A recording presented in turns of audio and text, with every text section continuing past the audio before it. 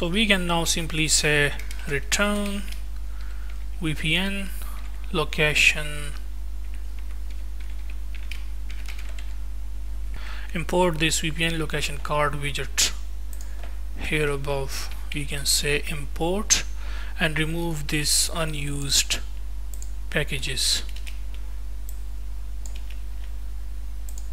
inside the all widgets we have VPN location card widget dot dot file. So we can say VPN location is VPN location card widget. VPN location card widget.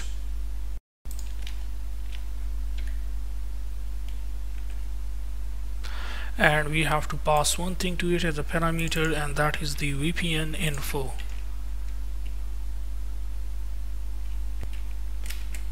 VPN info which is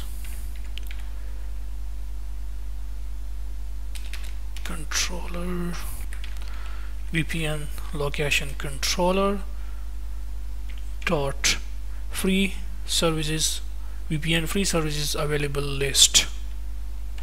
Index that is one by one we are displaying okay? Using this VPN info colon okay? VPN info is basically the VPN information which is receiving here as you can see here okay?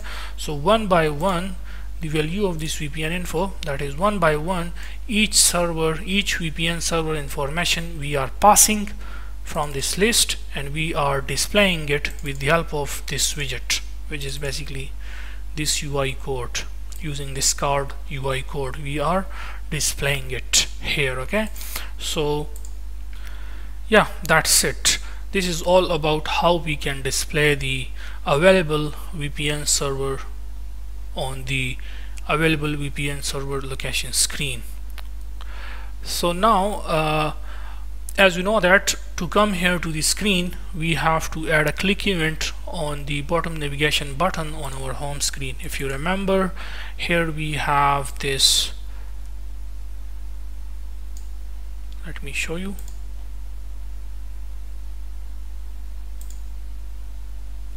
we have bottom navigation bar and this button. Okay inside it the on tap which is the select country location button. So when the user tap on it you will simply say get dot to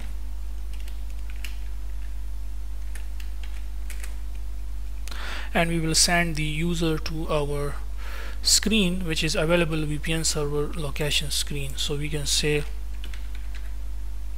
available VPN servers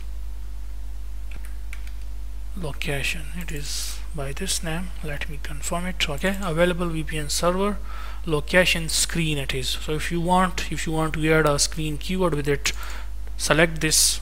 Okay. This name right click on it rename and simply add screen with it at the end and click on the refactor so it will do the changes okay? So as you can see automatically it basically change the spelling okay?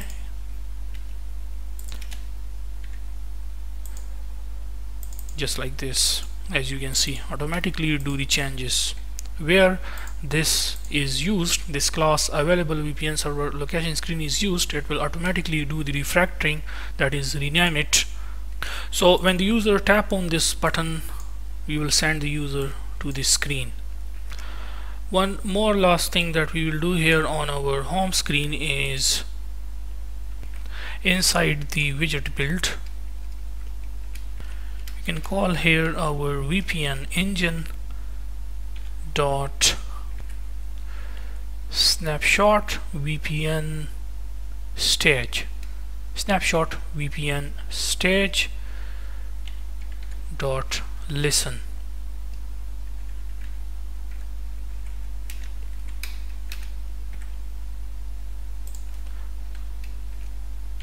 Home controller dot VPN connection state dot value and assign the event to it.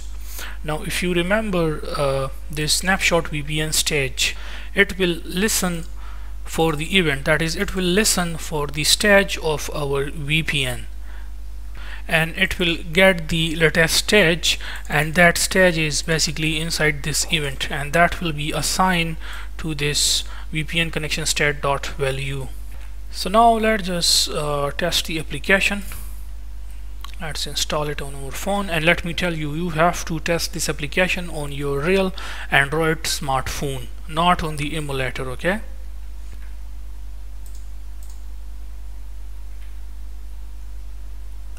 so the app is running now.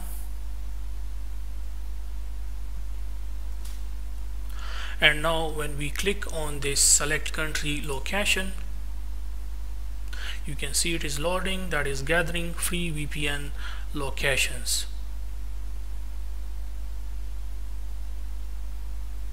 And let's check the run and here we go. Here we get the locations. So it gathers around 99 VPN servers or you can say 99 VPN location from different countries like Korea Republic, Japan, Colombia and Canada. You can see Russia, United States, Vietnam and much more. You can see here Thailand and so on. You can see that. You can scroll and see it.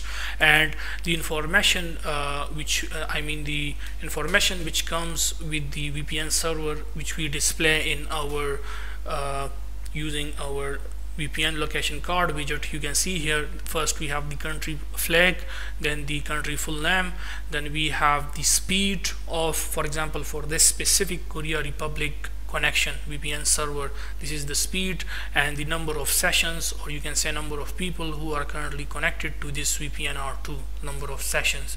And similarly for each VPN server location for example for Japan you can see the speed the country name the flag and the number of sessions. With each country you can see here for example for Colombia the Colombia flag Colombia title subtitle we see the speed and then at the trailing we see the number of sessions you can see that similarly for Canada the Canada flag uh, in the leading and then at the title we see Canada country full name and then at the subtitle we see the VPN speed which is this one for Canada location VPN location and then the number of session for this one is 235 so now let's connect to anyone. Let's say if I want to connect to Vietnam I will simply click on that. And that is something that we will implement in the next video.